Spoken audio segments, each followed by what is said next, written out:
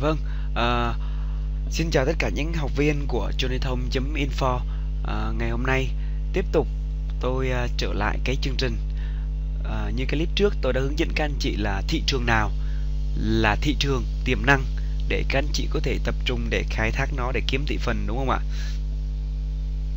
Thế thì trong cái clip này tôi sẽ nói với các anh chị là thị trường mục tiêu mà các anh chị chọn Họ đang cần sản phẩm nào và cách mà chúng ta phát triển cái ý tưởng này để chúng ta biết chọn sản phẩm đúng cho cái phân khúc thị trường mà các anh chị chọn được không ạ?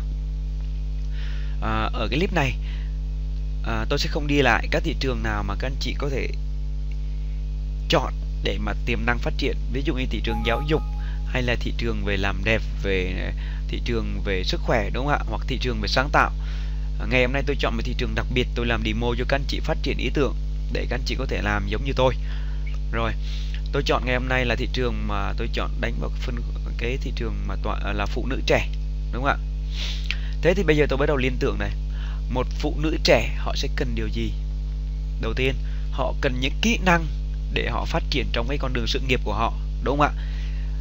Dù sao thì bây giờ phụ nữ cũng mở hơn trước rồi. Người ta không phải là chỉ là nữ công gia chắn đâu các anh chị người ta cũng muốn ra bên ngoài phát triển nghề nghiệp phát triển bản thân và có chỗ đứng trên xã hội đặc biệt.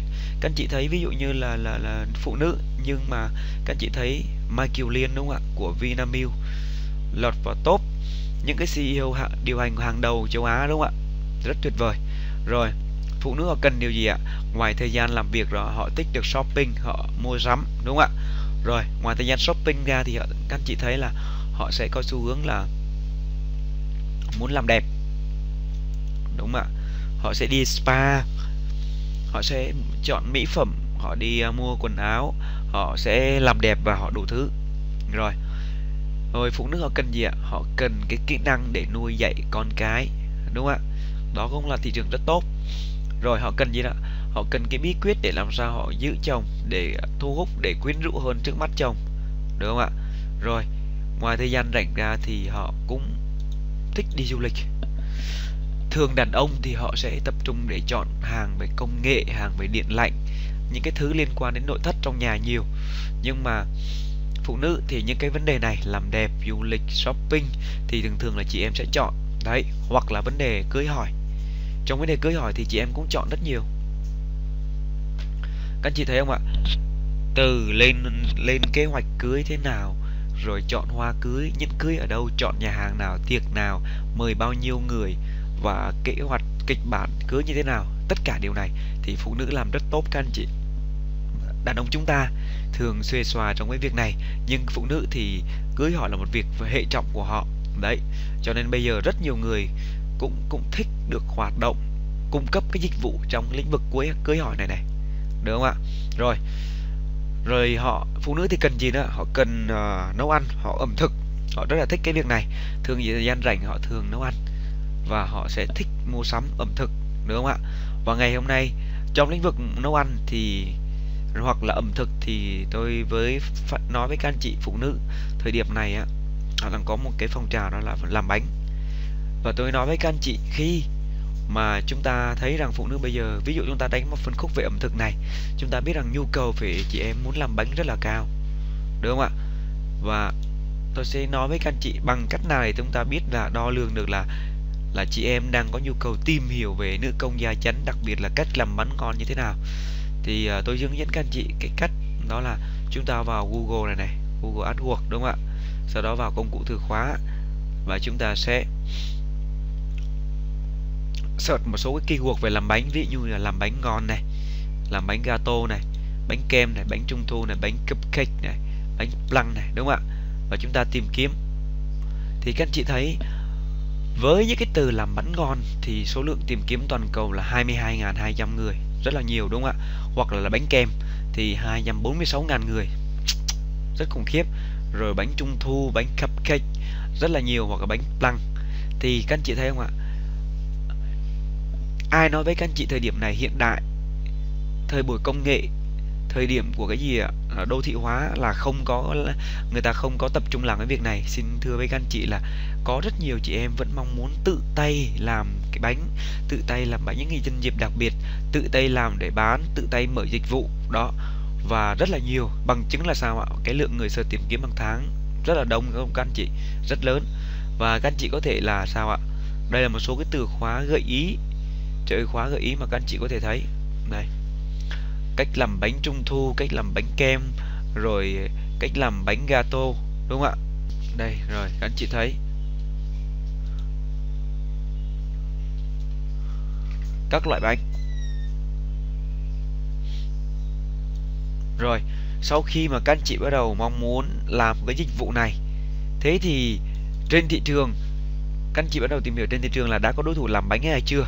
Thì tôi thông báo với các anh chị là ở ngoài Hà Nội bây giờ có một cái trung tâm làm bánh ngon.com rất là tuyệt vời. Và ở đây người ta có khóa học, có khóa học để hướng dẫn cách làm bánh luôn các anh chị. Từ khóa học cơ bản cho đến khóa học chuyên đề, rồi đủ thứ, từng các loại bánh. Các anh chị thấy không ạ? Từng các loại bánh. Và rất là dễ thương, phải không nào? Cho nên tôi nói với các anh chị là ở lĩnh vực này, thực ra kiếm ăn rất tốt vẫn có lượng người search tìm kiếm rất cao và các anh chị có thể phục vụ về information. Thế thì bây giờ information ở trong lĩnh vực làm bánh này là những information gì? Được không ạ? Ok, thế thì bây giờ là tôi nói trong làm bánh thì information là gì ạ? Cách làm bánh gato, được không ạ? Cách làm bánh plum cách làm bánh cupcake, rất là nhiều loại bánh, đúng không ạ? Rồi hướng dẫn người ta chọn nguyên vật liệu này hướng dẫn người ta thao tác nhào nặn bột này, hướng dẫn người ta làm bánh này, sau đó hướng dẫn người ta trang trí, được không ạ?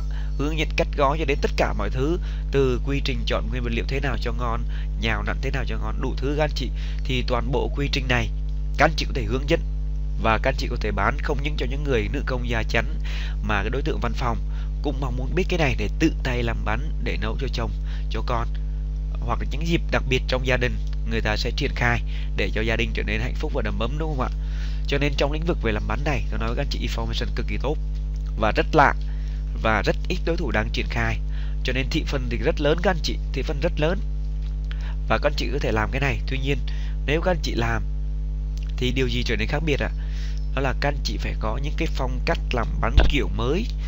Cũng là bánh plum cũng là bánh cupcake, cũng là bánh gì ạ? À? bánh gato. Nhưng các anh chị, các anh chị có thể tạo cái sự khác biệt bằng cách gì ạ? Thứ nhất, về design, tức là về thiết kế nó lạ mắt. Và bây giờ thiết kế nó phải fun, tức là sao nó phải vui, nó phải hài hước. Thì phải hút các anh chị. Rồi, sao nữa ạ? Chọn nguyên vật liệu, cho đến là cách các anh chị làm ạ. Thứ nhất là sao ạ? Dễ, đơn giản, có thể làm được, thao tác được, trang trí cũng rất đơn giản. Đó, thì chính cái information này với tạo sự khác biệt. Được không ạ? Và bằng chứng là tôi đo cho các anh chị thấy là cái số lượng tìm kiếm rất tốt để các anh chị có thể triển khai, đúng không ạ? Rồi, các anh chị có thể là coi cái đề xuất của Google nó báo là những cái từ khóa gì mà người ta đang search tìm kiếm tốt. Được không ạ? Đấy, và các anh chị có thể tham khảo thêm là cái làm bánh ngon này, nó đang triển khai gì? Và nếu các anh chị có thể triển khai thì khác gì với họ, được không ạ? Đó là cái điều mà các anh chị có thể làm. Đấy thế thì khi các anh chị bắt đầu chọn được thị trường mà các anh chị nhắm tới phục vụ rồi thì các anh chị bắt đầu phát triển thị trường đó thì các anh chị phục vụ đối tượng nào rồi quan trọng là các anh chị hiểu được cái, cái hành vi của họ được không ạ? Từng nãy thì tôi nói là người phụ nữ cần gì phát triển bản thân, nghề nghiệp, shopping, làm đẹp Thì những cái điều này gọi là gì ạ? Những cái behavior, consumer behavior là gì ạ? Là những cái thói quen hành vi tiêu dùng Những cái insight của khách hàng để các anh chị biết là họ những cái điều như vậy thì các anh chị nên phục vụ điều gì, đúng không ạ? Thì trong vấn đề phụ nữ này tôi biết cái là chị em thích nấu ăn, thích làm bánh thì tôi phục vụ cái đối tượng này. Đấy, đó là cách tôi phát triển ý tưởng. Sau đó tôi đo lường ý tưởng này ở trên Google AdWords bằng công cụ Google Keyword Tool. Thì tôi biết được số lượng người sẽ tìm kiếm trong vấn đề làm bánh bao nhiêu. Tôi sẽ mong muốn phục vụ thị trường này hay không. Nếu thị trường này lượng người tìm kiếm quá nhỏ thì thôi, các anh chị đừng nên phục vụ được không ạ? Và trong cái clip này thì tôi dừng lại ở đây. Trong những clip tiếp theo tôi hướng dẫn các anh chị là bắt đầu quy trình năm cái clip để xây dựng thương hiệu thành công. Được không ạ? Và hẹn gặp lại các anh chị trong clip tiếp theo. Vâng xin chào.